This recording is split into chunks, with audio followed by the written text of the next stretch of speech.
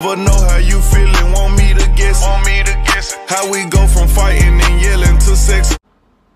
Hey, it's your girl India Michelle here, back with another video on four myths men have about women. But before we get into it, follow me on Instagram at India underscore underscore Michelle and Snapchat India.94. Now let's get to it.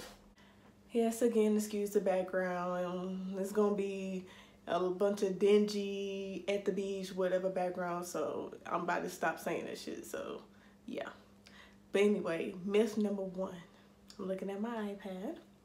Uh, myth number one, the longer you wait, the better chance of you having sex with the woman. That's a myth. Now, to a certain degree, when it comes to like, y'all like, um, certain women might be like, oh, I don't want him to think I'm a hoe. That's the real uh, misconception.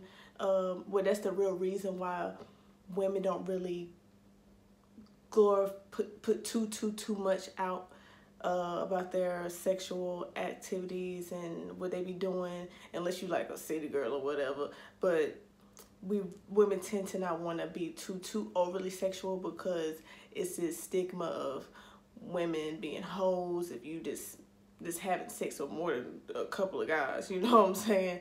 And so but the reason i said it's the myth about the longer you wait because in the beginning when a woman first meets you automatically she has this fantasy about you like oh he might be like this he might be like that. I'm not saying that you know she's gonna have sex with you on the first night but within the time you meet her in up to two weeks nine times out of ten she's gonna have sex with you. Not all but most women are gonna have sex with you. And i'm not saying women don't have uh, women who have sex on the first night or consider hoes because i mean it's a lot of women that had sex on the first night. But like I said, the longer she waits, the fantasy goes away. The whole, oh, I, I want to know is he like this, he's like that. And the real you come out. Not saying there's something wrong with being yourself, but certain things that she may or may not like about you might hinder you from getting any type of play. and might put your ass in the friend zone. You know what I'm saying? So it's best to kind of seal the deal. Like I know someone that's sitting here playing games with a female and it's been like a couple of months. It's been past two weeks. And I told him you got two weeks. If you don't hit within two weeks, especially out here, you want you, you want to have a little flame. If you ain't hit within two weeks, nine times out of ten, you're not gonna hit some you might have a couple of females that play that little game oh i just want to be cuffed yeah she's telling you that because she don't want to have sex with you you know what i'm saying it might be somebody else that she's uh, really attracted to that she's busting her wide open. It's just something about you. You might be a little too, your talk game might not be all that. There's a lot of those type of niggas out here, especially out here in MFO, Sinai, Egypt. Like, the talk game is just real bland, dry, corny, and just clown nigga shit. And this is like, you ain't gotta do all that. You ain't gotta, ah, let me ride your back just so you can get a girl's attention. Just say what you mean, mean what you say in a cool little way. You ain't gotta be too, too blunt. But she'll get what you're saying. And, you know, she gonna bust that little thing up for you. The fuck? okay. Tip number two on myths men have about women. Tip number two, myth number two is women are not sexual until they meet the right man. And this also kind of plays into number one. Everything is all play into each step. So women are not sexual until they meet the right one. That's a goddamn lie. Now, for instance, it's another person that I don't know her personally, but and I might be wrong, but I'm just gonna say it like this. So she's supposed to be um what is it? What's the word I can even think of? No, I ain't this. Um, she's supposed to be celibate.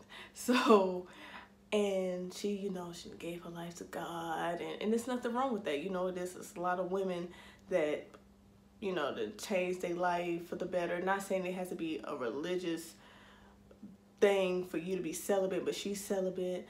But the reason I said she's full of shit is because you out here cuddling, cuddling up in the bed with somebody but you're. She, again, just don't want to have sex with his goofy ass. And I'm pretty sure, and I know this person that came off goofy, over overly thirsty, and his dick is just literally in his hands like the the the thirst is just coming out your pores how thirsty you are like it's okay that you want to get your dick wet and she might want to get pounded but sometimes men you talk your way out of coochie. You sometimes it's okay to of course you want to be open and not too too shy but sometimes men talk too much. It's, it has to be like a balance. Like men either you're talking too much because it's like like on some shit like okay thirsty thirsty thirsty thirsty thirsty is doing too much talking you doing too much trying to win the woman over and all you got to do is just again say what you mean mean what you say and sometimes men could talk a little too little like you a little mouse and again closed mouth don't get fed you know what I'm saying? Your your mouth can't get fed with this wet cootie cat if you sitting here acting like a little shy boy, acting like you 12 years old and you ready for ready for your mom to come get you up school from after school care. No, okay. So you like I said, you have to have that balance, fellas. Okay, again, it's all about you. You know, women, whether you're overseas or when it's when it's definitely a drought for uh the kick it with somebody on that level. See, women, we have whether it's here overseas or back in the states, women we have the advantage over men. Like, dick is in abundance everywhere. Like, it's just I can walk outside and I bet you I can find somebody to fuck a few niggas out here that if I decided to, which I don't. Then a man doing it, you know what I'm saying? Out here is what one female to every 20 men. So a chick like me is multiple dudes that's most likely on my body. I'm not ugly. I got a nice body or whatever. Uh, you know, hair laid, you know, so when they see somebody like this, you know, they're like, oh, who is that? Compared to a man out here, you you within that 25 to that one ratio, that one girl that you're trying to holler at, you're not the only one. About a thousand motherfuckers didn't try to holler at her. So you really got to come correct. You kind of have to be that dude that's, that you have to separate yourself from the thirsty niggas. You know what I'm saying? That's basically what I'm trying to get at. So tip number three about, uh, well, myth number three. Women have this I'm independent bullshit. And I'm to be a little, a little it's gonna sound a little fucked up. Usually that women who say I'm independent shit is bitches that are ugly in the face. They booger wolves. Don't no woman want to here and work for the rest of her goddamn life.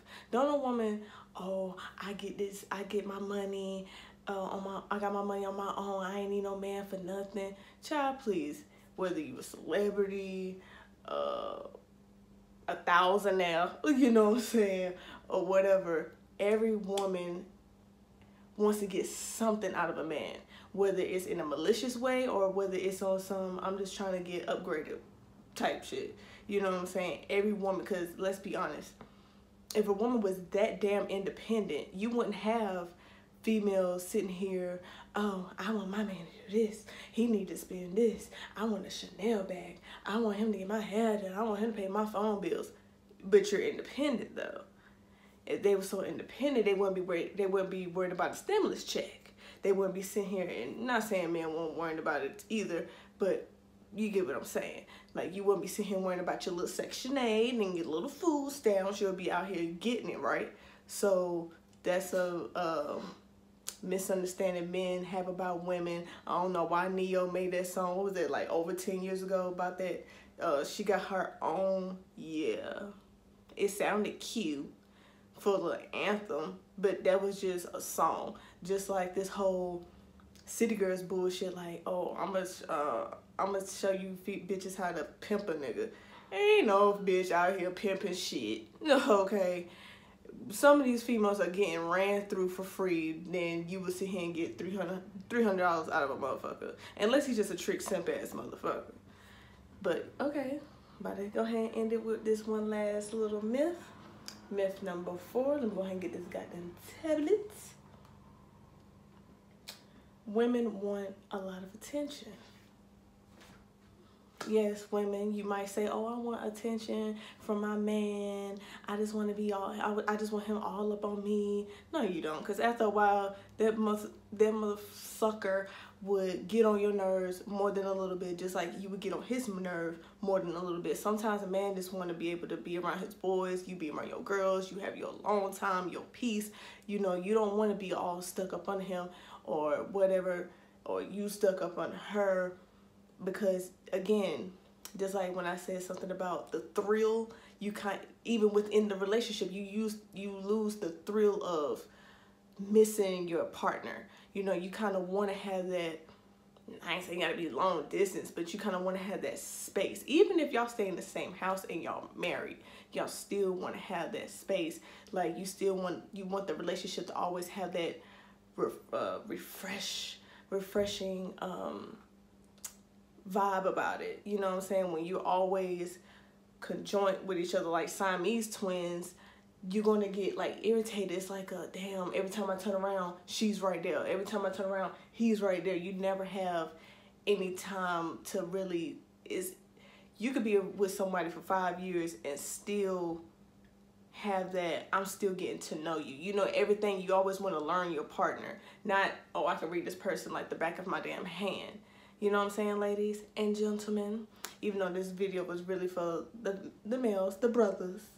But yes, that concludes my video on four myths that men have about women. I hope I explain myself the best way I could. And I know I probably was rambling just a little bit, but y'all be all right. I'm pretty sure y'all got the gist of what I was saying, hopefully, unless it just went smooth over your damn head. But anyway, that's it. Don't forget to like, comment, and subscribe. Don't forget to also leave a comment on the next video that you want. Leave comments how you felt about the video. Like, like, like, share, share, share. Support a bitch. You know what I'm saying? Don't forget to follow my social media at Instagram, India underscore underscore Michelle and Snapchat India.94. I'll be back with another video later on. Bye bye.